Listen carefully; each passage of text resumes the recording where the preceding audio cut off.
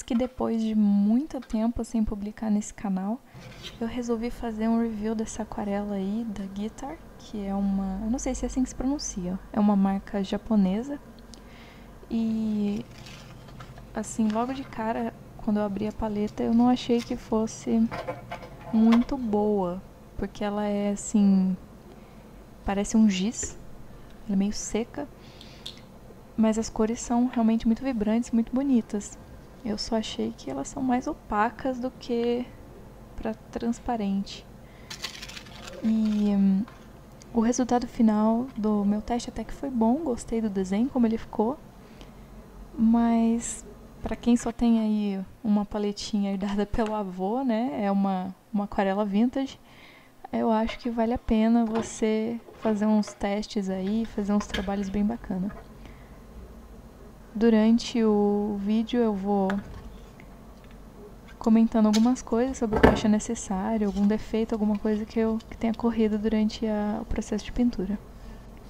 E outra coisa que eu queria falar é que, como para o vídeo não ficar muito longo, eu dei uma cortada em algumas partes e acelerei para poder ficar uma coisa mais compacta, senão ninguém aguentar assistir tudo. Mas espero que vocês gostem e fiquem aí com com a música e alguns comentários.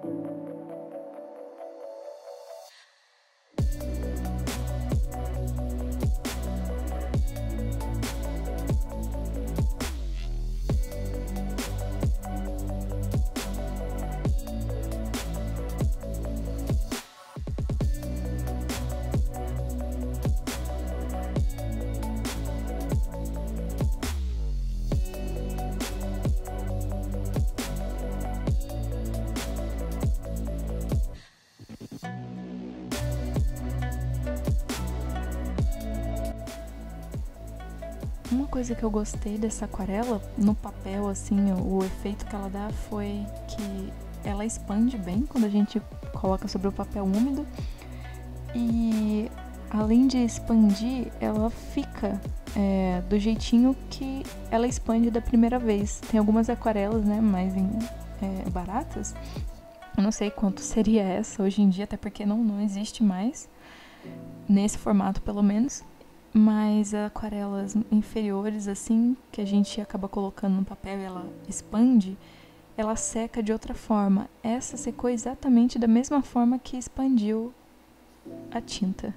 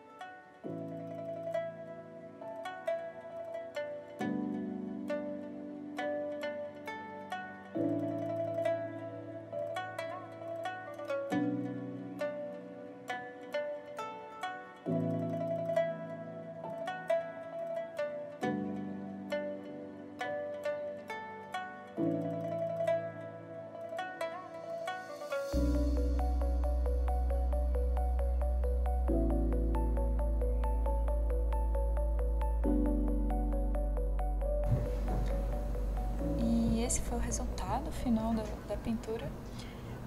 Eu sei que essa paleta não é uma paleta de aquarela profissional e mesmo assim eu gostei do jeito que ela seca no, no papel.